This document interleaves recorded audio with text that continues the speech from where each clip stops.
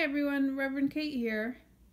There's not that much that is more frustrating than finishing a very challenging puzzle only to find out that there's a missing piece. Now, based on this piece here that has some bite marks in it, I'm thinking that this one might have something to do with it. Millie? Did you take my puzzle piece? Where'd you put it? Where's the puzzle piece? She's not talking. Well, now I'm faced with the decision of spending the rest of the day searching high and low for this piece or just moving on. What would you do?